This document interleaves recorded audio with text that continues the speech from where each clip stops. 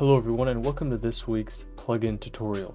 In this one, I'm going to be showing you how to sign and notarize your plugin on Mac specifically so that you can send it off to anyone's computer and work on any Mac OS.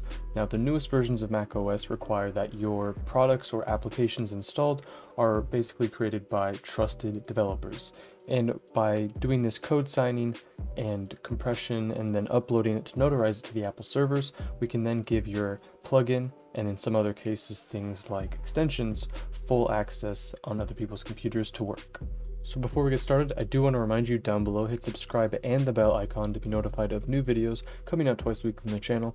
And down in the description, you can check out uh, the reference notes for this, basically different steps, and you can try it out for yourself. And make sure you follow us there on GitHub for more coding updates. In the description, you can follow on AE Scripts download and purchase products to help support us, as well as make sure you follow on Instagram for other live updates.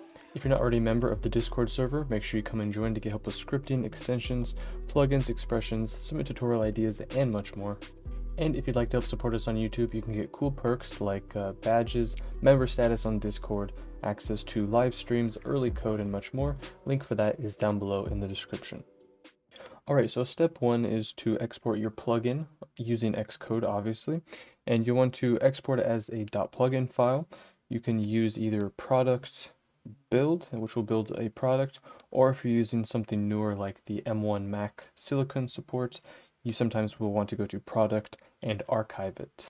You can also go into the product and build settings into the signing capabilities, and you can use uh, some signing information of your Apple developer account if you already have that. Uh, but we're also going to be somewhat overriding it just to make sure we put in the specific arguments we know it will work with the newest OS. So I have here an exported .plugin file. We're going to go now step by step how we can sign this and notarize it. Now, firstly, signing it is basically to say that it was made by a reputable developer. After we sign it with our developer ID, which you should already have, then we're going to compress it into a zip file, upload it to the Apple servers so that Gatekeeper, what basically deems files as trusted in the Apple community, will then look at your application and make sure everything is verified using your information and then safe for the user to install. Finally, after that, we're going to staple our plugin file, which basically allows it to be uh, verified offline without connecting to the Apple servers to Gatekeeper. And I should note that you do need Xcode, of course, installed for this, um, because Xcode is what includes all of these tools like CodeSign and xcrun, uh, which we will need.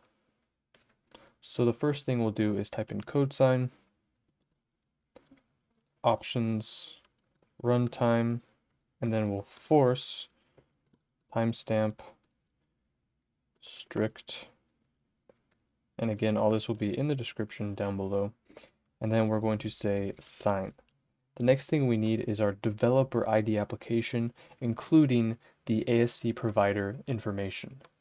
The ASC provider is basically a list of numbers and or letters that goes after your developer ID, uh, usually looking something like this. This is my personal ID, uh, which is fine for the public to know.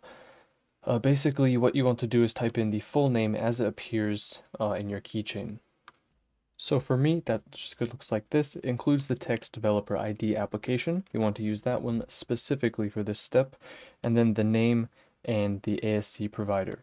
Uh, you want to make sure this is in quotes because there are spaces in here. And then the last thing we need to do is provide a path to our plugin. All we have to do for that is click and drag it into terminal and then we'll hit enter. As you can see, it says it's replacing the signature because there was one I had applied through Xcode, and this will just override it and make sure everything's good. So now that that process is successful, we're going to secondly compress this plugin file into a zip file. We need it to be in a zip format or something like a package or DMG to upload it to the Apple servers and be accepted.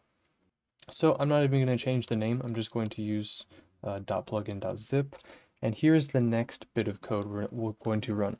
So we're going to say xc run all tool. The first flag we're going to give it is notarize app because that's what we're going to do. Then we're going to tell it we're going to be giving it the primary bundle ID.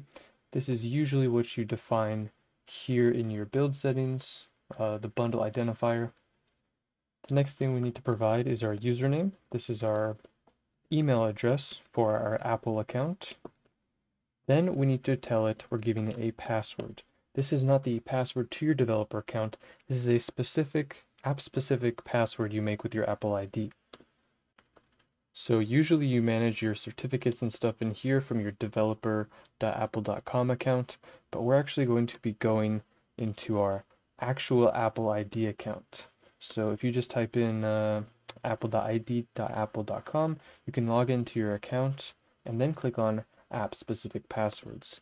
We're going to create an app specific password which allows us to sign these applications. So to create a new one, just hit plus, name it whatever you want, plugin test, and then it's going to give you this password, which I'm going to from here on out blur out because it's basically like a private key kind of password where if you have this and the ASC provider, anyone can sign stuff for you. So copy down this password and keep it safe, and we're going to be using that to now sign. After that, we're going to now provide it the ASC dash provider. Again, this is just the team you belong to, which is usually a bunch of letters and numbers representing uh, the development ASC provider. Then lastly, we'll give it the argument file, and then we'll give it the .zip file we created, and hit enter. Now it's going to take a second as it's uploading this to the Apple servers to be checked and notarized properly by their gatekeeper. It will give you a special ID number in just a moment, which you can use to verify online if you are successfully signed or not, but you also get an email to your Apple developer account, which basically says notarized successfully or failed and give you a reference code. So we do need to wait until we get that email to proceed to the next step. And in my case, I actually just uploaded this, so it's telling me that they had a problem. Here's all the information.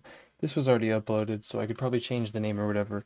But once you get an email indicating that it's been signed successfully, the last step is to remove our original plugin file and unzip this newly notarized file. Remember to wait till you get that email saying it's notarized successfully. And once we uncompress the zip file, we'll have our plugin file here. Our last step is to staple this. And stapling just means it will be installable and usable and trusted offline. Uh, if the user is offline, it can't connect to Gatekeeper to check if it's a trusted application. So this will enable them to do that. So we'll say xcrun stapler, that's the name of the app, and we're going to staple this plugin file. Once we hit enter, you can see we have stapled and validated it successfully. This is now available to be used offline. You can then take your plugin file, upload it online, put it in a zip file in a folder for your distributables, and it will be usable by any Mac. But that's going to do it for this video guys. I hope you enjoyed. If you did, hit the thumbs up button. Down below, hit subscribe and the bell icon to be notified of new videos coming out twice weekly on the channel. And down in the description, you can check out the code reference to this in the GitHub link. Follow us there for coding updates. Check us out on AE Scripts where I post scripts and plugins for uh, workflow improvements. You can support us there. And also follow us on Instagram down below for other live updates. If you're not already a member of the Discord server, make sure you come and join to get help with scripting, extensions, plugins, expressions, submit tutorial ideas, and much more.